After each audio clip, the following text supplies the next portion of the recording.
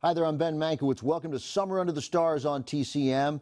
We're in the middle of a marathon of Robert Mitchum movies, and we're doing it on what would be Mitchum's 104th birthday. It's a Mitchum film noir trio tonight, two classic noirs bracketing the movie we have next. This is a neo noir from 1975, an adaptation of a Raymond Chandler novel, Farewell, My Lovely. Mitchum's breakout role came in 1945, playing a well respected officer in William Wellman's war film, The Story of G.I. Joe. But Mitchum's reputation was made playing enigmatic loners, tough guys with a soul in film noirs like our last movie, Out of the Past, from 1947, opposite Kirk Douglas and Jane Greer. Farewell, My Lovely plays on that classic Mitchum image. Coming 28 years after Out of the Past, it marked a return to the genre that made Mitchum famous. He plays Raymond Chandler's signature detective, Philip Marlowe.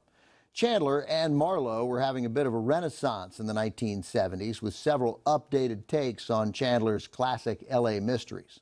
This particular story had been told on screen before, most memorably in Murder My Sweet from 1944, starring Dick Powell. At the time, Powell was known primarily as a star of light, fluffy musicals, and RKO feared that using the original title, Farewell My Lovely, might confuse audiences. So Farewell My Lovely became Murder My Sweet. There was no worry of audiences thinking Mitchum might be in a breezy musical, even though Robert Mitchum was a talented singer who had three top 100 songs hit the Billboard charts. Anyway, producers went with the original title. Mitchum stars as a private eye hired to find a missing woman.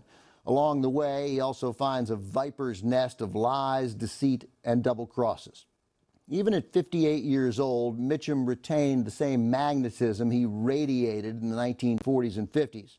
Critic Roger Ebert once called Mitchum the soul of film noir. Mitchum was less eloquent when discussing his career. He rarely gave an interviewer typical answers, and he often used language no paper would print or TV station could air. But Late in his life, when asked to describe his long career, he responded in a manner befitting the characters he played. It sure beats working, he said. From 1975, also with Charlotte Rampling, Sylvia Miles, John Ireland, Harry Dean Stanton, and briefly a young pre Rocky Sylvester Stallone. This is Farewell, My Lovely. Robert Mitchum was consistently self deprecating about his talent as an actor. You show up on time, he once said, and you do what the director tells you to do. He also claimed he had only two acting styles, with or without a horse. We all know better, and we're certainly not alone in suggesting that perhaps Mitchum's greatest talent was to make it all look so effortless.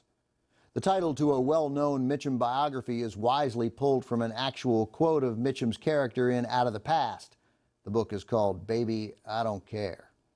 As he grew older, Mitchum continued to work. He received critical praise for two miniseries, The Winds of War from 1983 and its 1988 sequel, War and Remembrance.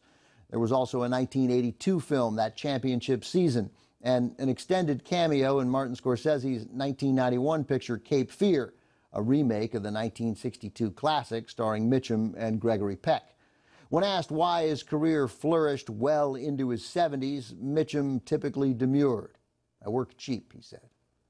Up next, we go back closer to Mitchum's heyday, a 1952 film noir co starring Jane Russell and Gloria Grahame.